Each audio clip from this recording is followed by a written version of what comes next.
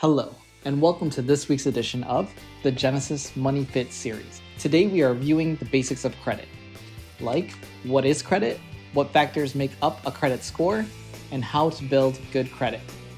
Let's start by discussing the basics of credit. Credit is the ability to borrow money and access goods or services with the understanding that you will pay later.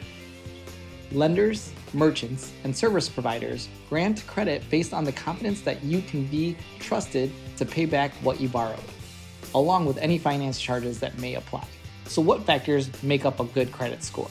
Most people believe if they make all their credit card and car loan payments on time, they can expect their credit score to be great. However, focusing on the payment history alone will not give you a complete breakdown of what actually goes into your credit score.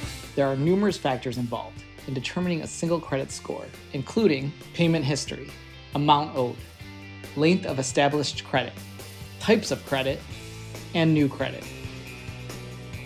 But why is a good score important? Good credit is necessary if you plan to borrow money for major purchases, such as a car. A higher credit score can mean better interest rates and terms on loans and credit cards. It's important to note that lenders aren't the only ones who concern themselves with your credit reports and credit scores. Landlords may check your credit when deciding if they'll rent you an apartment or determining how large a security deposit to require. Insurance companies may use your score as factors in determining your rates. And prospective employers may use information found in credit reports to make a hiring decision. We want you to understand that a good credit score matters in very real ways. The following example will help illustrate the differences your credit score makes when paying for loans. Meet Amy, Barry, and Chris. Amy has excellent credit, Barry has fair credit, and Chris, well, Chris has poor credit. Let's say that each finance the same car for $26,500. Amy pays $5,300 for her car, Barry pays $5,800, and Chris has to pay $6,300 a year to drive around. Each of them have the same driving record, Amy gets her insurance for $1,240 a year. Barry pays $1,700 a year, and Chris has to pay $2,160. Each carries a $3,000 credit card balance. Every year, Amy pays $327 in interest. Barry pays $594, and Chris pays $649.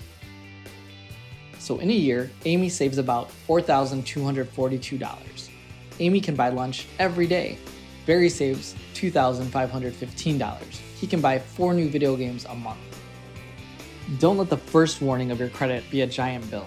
The team at Genisys Credit Union is available to help you build your financial future today. Now that we know the basics of credit and how your credit score can impact future loans, let's see how we can build good credit. Start with a credit card limit between $500 and $1,000, so it's easy to manage. Take into consideration the tips that we've already learned on how to use your credit card responsibly and you'll be on your way to building a solid credit score. Also, consider a credit starter loan to help you build your credit if you have no credit history. When it's time for your first auto loan, you will have proven that you are a responsible borrower. This will help ensure you receive the best rates available. A Genisys starter loan is offered to 18 to 21 year olds with no credit history and includes a maximum loan amount and term. Not only should you make sure you are making payments on time, but you should also be aware of the factors that are impacting your credit score. Obtain your free credit report at www.annualcreditreport.com to review the history and correct any mistakes. Now that you're familiar with credit, what steps will you take to improve the score and begin building your credit?